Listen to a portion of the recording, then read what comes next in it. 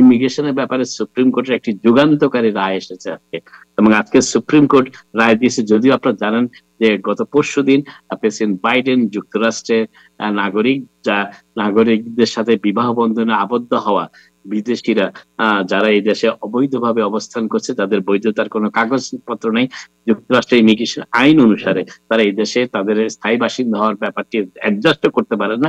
কিন্তু সেই অ্যাডজাস্ট করার সুযোগটি দেওয়া হয়েছে। অন্তত পক্ষে যারা দশ বছর ধরে এই দেশে অবস্থান করছেন, আমেরিকার নাগরিকের সাথে জুন মাসের সতেরো তারিখের আগে বিবাহ বন্ধন আবদ্ধ হয়েছেন তাদেরকে। কিন্তু আজকে সুপ্রিম কোর্ট যে রায়টি দিয়েছে, তাতে দেখা যাচ্ছে সুপ্রিম কোর্ট আজকে স্পষ্ট করে বলেছে যুক্তরাষ্ট্রের নাগরিকদের, বিদেশিদের বিবাহ করে তাদেরকে যুক্তরাষ্ট্রের সাথে করে নিয়ে আসার কোনো অধিকার নেই। এবং এটি অত্যন্ত যুগান্তকারী রায় এবং যুক্তরাষ্ট্র সুপ্রিম কোর্ট আরও নির্দেশ দিয়েছে, যুক্তরাষ্ট্রের যারা নাগরিক নয় তাদের যদি ভিসা প্রত্যাখ্যাত হয়, কিংবা স্টেট ডিপার্টমেন্ট যদি তাদেরকে ভিসা দিতে অস্বীকৃতি জানায়, এখানে দুটো জিনিস আমি ব্যাখ্যা করে দিয়ে রাখি। একটি হচ্ছে অ্যাডজাস্টমেন্ট অফ স্ট্যাটাস আরেকটি হচ্ছে বিদেশে বিবাহ থাকলে বিদেশে স্পাউস যদি বিদেশে আমেরিকান নাগরিকদের স্পাউসরা যদি বিদেশে অবস্থান করে, তাদের ভিসার ব্যাপারটি নিয়ন্ত্রিত হয় যুক্তরাষ্ট্রের স্টেট ডিপার্টমেন্টের মাধ্যমে।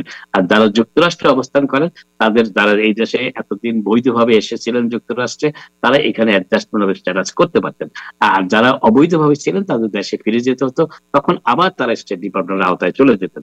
এবং তাদেরকে ম্যাক্সিমাম বেশিরভাগ ক্ষেত্রে তাদের ভিসা দেওয়া হতো না। আর কয়েকটি মানবিক ক্ষেত্রে বিবেচনা ছাড়া। কিন্তু আজকে সুপ্রিম কোর্টের রায় যেটি দেখা যাচ্ছে, তাতে দেখা যাচ্ছে ছয় তিন রায়।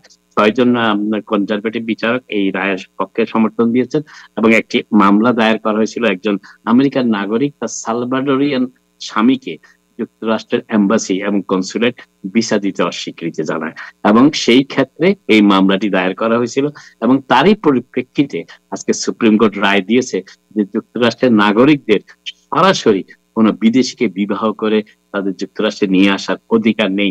স্টেট ডিপার্টমেন্ট যদি ভিসা দেয়, তখনই তারা আনতে পারে এবং ভিসা যদি না দেয়, সেই রায়, সেই সিদ্ধান্ত যুক্তরাষ্ট্রের কোনো আদালতে চ্যালেঞ্জ করা যাবে না। এটি অত্যন্ত গুরুত্বপূর্ণ একটি সিদ্ধান্ত যে বিষয়টি আমাদের অনেক বাংলাদেশেও এই ব্যাপারে ভুক্তভোগী হতে পারে আর যুক্তরাষ্ট্রের স্টেট ডিপার্টমেন্টের ভিসা সংক্রান্ত সিদ্ধান্তের ব্যাপারে যুক্তরাষ্ট্রের কোনো আদালতে মামলা দায়ের করা যাবে না। এতদিন যেটি সম্ভব ছিল আজকে সুপ্রিম কোর্টের রায়ের পক্ষে সেটি অনেক কঠিন হয়ে গেল।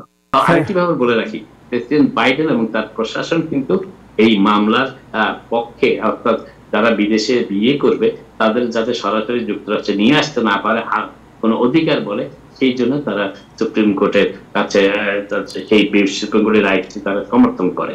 এবং এর ফলে প্রেসিডেন্ট বাইডেন যে ঘোষণাটি গতকালকে দিয়েছেন সেটি কীভাবে ইমপ্লিকেটেড হতে পারে কিনা আরেক কিছুদিন সময় লাগবে আমাদের জানার জন্য।